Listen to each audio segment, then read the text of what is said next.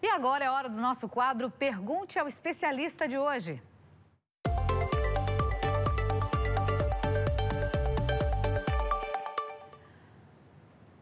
Você sabia que o excesso de peso é tão prejudicial para o surgimento de câncer quanto o cigarro, gente? Olha só que informação importante, né?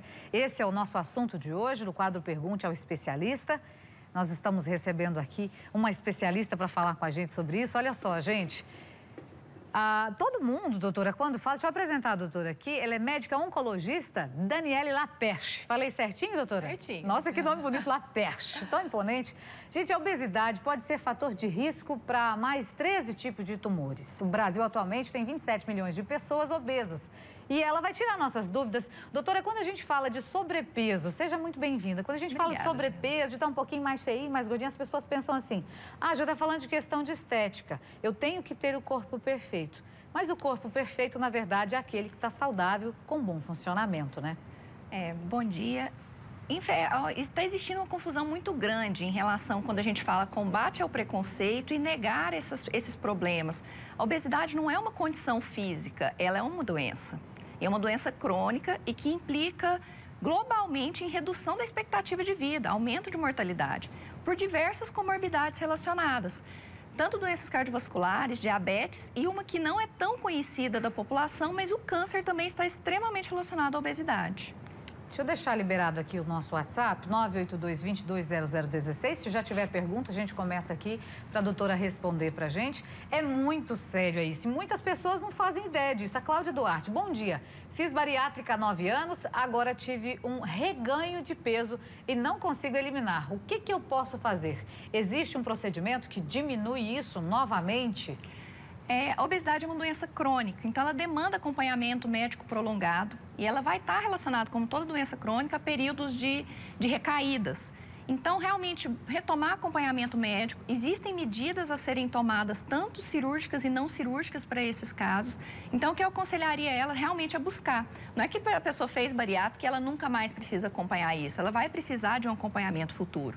Então, tem tratamento ainda assim e merece esse cuidado. Doutora, qual que é a relação né, do sobrepeso, da obesidade com o câncer? Quando é que as pessoas que estão acima do peso têm que acender o alerta? O sobrepeso ele já está relacionado. Alguns estudos mostram que já os, as pessoas que estão com IMC entre 25 e 30, que, que é a, a, classificação do sobrepeso, elas já têm um aumento da incidência de alguns tumores. Quando está acima de 30, que realmente a gente nota um pico da incidência de algumas doenças que estão extremamente relacionadas. Então, hoje a gente estima que 30% dos casos de câncer no nosso país são relacionados à obesidade. Então, é uma parcela muito grande, se implica em custos, em resultados de tratamento, em uma coisa que é um problema de saúde pública hoje que tem que ser abordado para a gente tentar mudar essa realidade. Cadê a pergunta do Fagner para a gente responder aqui? O Fagner Tavares, a obesidade causa mais sono e esse sono faz com que a pessoa aumente mais ainda o peso? O que, que eu devo fazer? É, uma coisa que está muito relacionada à obesidade é a apneia do sono. Então, muitas vezes a pessoa pode, por dificuldade respiratória, por obstrução de via aérea. Não dorme é, direito. Não dorme direito. Então, ela não tem um sono reparador, ela realmente não descansa. E essas pessoas que não têm um sono de qualidade, elas têm uma tendência a ganho de peso maior do que uma pessoa que dorme bem. Então, vira um ciclo vicioso. A pessoa obesa dorme mal, se não trata essa questão da apneia, isso vai só piorando a situação. A Silvana aqui apareceu também uma pergunta dela. Bom dia. Eu estou com o abdômen muito estendido, estou com muita dor na coluna, não consigo ficar muito tempo em pé. O que pode ser, doutora?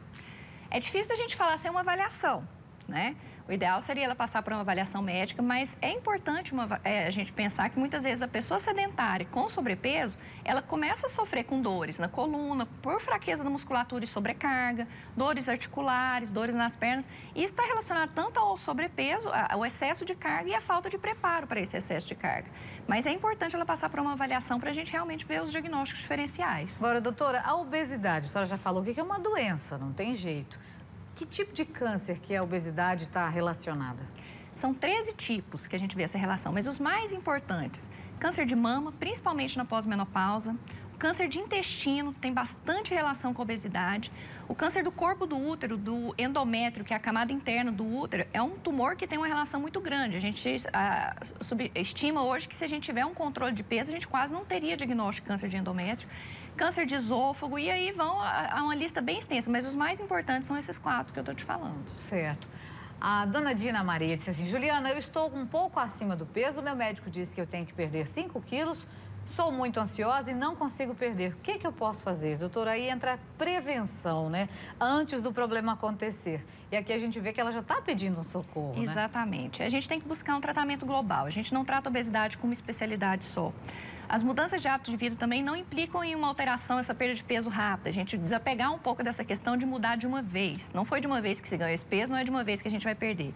Mas instituir atividade física regular, mudar o padrão da dieta e buscar um tratamento para essa questão emocional, uma avaliação psiquiátrica, pode ajudar bastante. São muitos fatores, né? Exatamente. Né? É uma mudança de estilo de vida mesmo para a gente corrigir esse problema. Se você ainda não mandou sua dúvida para a gente, pode mandar. A doutora vai responder. 982 22 0016. Tem alguma coisa que a pessoa pode fazer como prevenção, doutor, além de dieta, exercícios físicos? E tem muita gente que faz a dieta, mas por questões hormonais não consegue perder peso e só vai ganhando mais e entra em desespero. O acompanhamento multiprofissional. Obesidade não se trata sozinho. Quem está com esse problema não pode ter esse medo de procurar ajuda. O problema que a gente tem no nosso país é uma procura muito tardia por ajuda na, obesidade. As pessoas acharem que somente os obesos extremos precisam de médico, que não. A gente precisa desse acompanhamento mais precoce e realmente ter essa consciência que é um processo e que esse processo vai ser longo e vai estar sujeito a recaídas. E acho que isso tira um pouco o peso da pessoa em desistir, essa questão de que ah, não está dando certo. Não, o processo é difícil e por isso você precisa desse suporte para conseguir. E quando é que eu, que estou lá assistindo a gente agora, devo né, me colocar aí em estado de alerta. Não, peraí, com esse peso que eu estou aqui, eu já tenho que procurar alguém, que pode ser alguma outra coisa, além da minha vontade de beliscar, além da minha vontade, né, da minha ansiedade ali, às vezes descontar, né, o emocional desconta na comida, as recompensas. Quando é que a pessoa tem que acender aquele alerta? Acima de quanto de peso, por exemplo? Na calculada, a gente tem na, na, facinho no Google as calculadoras de IMC. Tá? Ele faz o cálculo do peso dividido pela altura ao quadrado, mas você tem essa calculadora pronta. Para não fazer, você só joga seu peso e sua altura. Um MC acima de 25, a gente já está diante de um sobrepeso. Acima de 30, que a gente já tem o diagnóstico de obesidade. Tá? É, isso aí é, é uma fórmula mágica, funciona para todo mundo? Não. Em alguns casos tem as suas exceções, mas são bem exceções mesmo. Para a maioria das pessoas isso vai funcionar. Isso já é um sinal de alerta importante. E a outra questão, circunferência abdominal. A gente tem que ficar atento a essa gordura abdominal, que é a gordura mais inflamatória, que está mais relacionada a risco. Então, tem aquela pessoa que está com o braço fininho, perna fininho e a barriga. Essa isso barriga aqui é a, gente minha cerveja. Tem gente que brinca, então, isso aqui é a minha cerveja, isso, meu a gente já tem que ficar atento e já buscar esperto. um acompanhamento para avaliar isso daí. Agora, doutora, me ajuda a fechar uma conta aqui. Quem está assistindo a gente também pode fazer essa conta comigo. Quem tem obesidade, está nesse processo todo aí, tem dificuldade para curar as outras doenças. E quem tem as doenças também dificuldade de curar as doenças porque está obeso. Faz, eh, deixa a pessoa meio encurralada essa questão de estar com sobrepeso. Como é que resolve isso? Qual que é o caminho que a pessoa tem que tomar? É uma cadeia, né? É, a maioria dessas doenças, se pensar doenças cardiovasculares, diabetes, câncer, todos relacionados à obesidade, eles estão correlacionados. Eu controlar a obesidade, eu controlo o resultado do tratamento dessas doenças. O resultado do tratamento dessas doenças está extremamente relacionado ao controle de peso. E não, nós não estamos falando que todo mundo tem que sair perdendo 30 quilos. Uma pessoa que perde 5 quilos, ela já tem uma melhora de todos os parâmetros. Qualidade de vida, inclusive. Isso, e até diminuição de medicações em muitos casos, entendeu? Por melhor resultado do controle metabólico, diminuição da inflamação, redução das produções hormonais. Então, não dá para a gente separar. Eu não vou conseguir controlar uma hipertensão e um diabetes se eu não focar o tratamento nesse aspecto também. Ai, doutora, falou de diabetes, aí agora eu já queria ficar o resto do programa todinho conversando com a senhora. Muito bom recebê-la aqui, muito simpática, né? O pessoal de casa com certeza também acendeu o sinal de alerta. E tem que ir ao médico, tem que fazer check-up, não tem jeito. Nós falamos aqui com a doutora Daniele Laperche, ela é oncologista e tem um sobrenome muito bonito que eu encantei. Que muito origem é, obrigada. é, doutora? É francesa. Ah, gente, mas é muito chique. Doutora, muito obrigada, viu? Obrigada pelo convite, Liana. Esse foi o nosso quadro Pergunte ao Especialista de hoje.